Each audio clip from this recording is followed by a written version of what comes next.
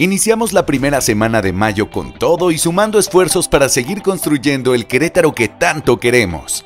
Dimos la bienvenida a las niñas, niños y adolescentes en el gobierno. Sin duda, son el presente y futuro de nuestro municipio. Hablamos sobre nuestras acciones en favor de las y los niños para seguir construyendo un mejor Querétaro para todas las familias. Nos lanzamos con las y los pequeños de nuestro centro de día Anjoya para leerles un cuento y seguir incentivando su educación.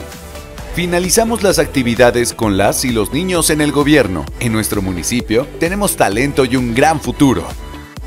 Estuvimos en la sesión de coordinación regional de Querétaro. Seguimos uniendo esfuerzos por tu seguridad. Nos reunimos con siete municipios de nuestro estado para la firma de convenio de nuestra app Cuelgap con la que cuidamos a tu familia de las llamadas de extorsión. Recorrimos las instalaciones del Torito y la Vaquita para seguir trabajando por tu seguridad. Estuvimos en la tradicional comida del Día de la Santa Cruz. Con los trabajadores de la construcción, mejoramos la calidad de vida de las familias. Estuvimos en la segunda sesión ordinaria del Comité de Control Interno. Trabajamos en conjunto por nuestro municipio.